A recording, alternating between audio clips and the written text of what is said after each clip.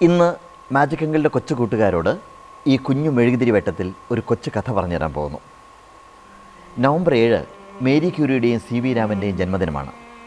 November പതിനാല് ചാച്ചാജിയുടെ ജന്മദിനം. ഈ രണ്ട് ദിവസങ്ങൾക്കിടയിൽ ഈ വർഷം നമ്മുടെ കേരളത്തിൽ റാലി ഫോർ സയൻസ് സംഘടിപ്പിക്കുകയാണ്.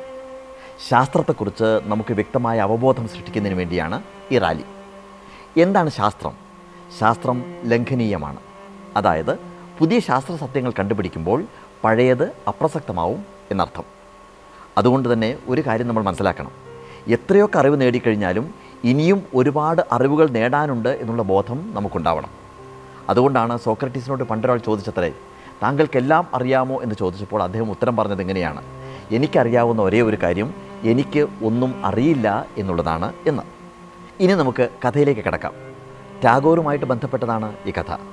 ടാഗോർ എല്ലാ രാത്രികളിലും തന്റെ ഹൗസ് ബോട്ടിൽ പുഴയിലൂടെ ഒരുപാട് ദൂരം യാത്ര ചെയ്ത് വനാന്തരത്തിൽ എവിടെയെങ്കിലും ഹൗസ് ബോട്ട് നിർത്തിയിട്ട് ഒരു മെഴുകുതിരി വെട്ടത്തിൽ പുസ്തകം വായിച്ചിരിക്കുമായിരുന്നു. അന്ന് ഒരു നിലാവുള്ള അർദ്ധരാത്രിയായിരുന്നു.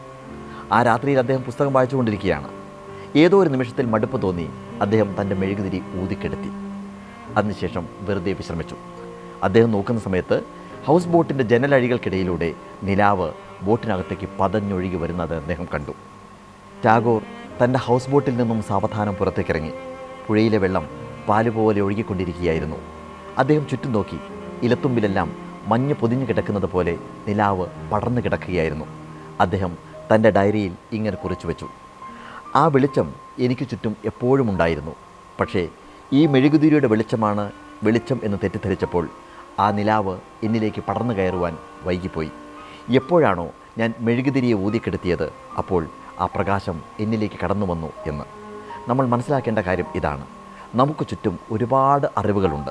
പക്ഷേ നമുക്കറിയാവുന്ന കാര്യമാണ് ഏറ്റവും വലുത് എന്ന് നമ്മൾ തെറ്റിദ്ധരിക്കുമ്പോൾ മറ്റ് അറിവുകൾ നമ്മളിലേക്ക് കടന്നു വരുവാൻ മടിക്കുന്നു. അതുകൊണ്ട് തന്നെ അറിവുണ്ട് എന്നുള്ള നമ്മുടെ അഹങ്കാരത്തെ നമുക്ക് ഊതിക്കെടുത്താം. നമ്മളിലേക്ക് അറിവ് ഒരുപാട് പ്രവഹിക്കട്ടെ.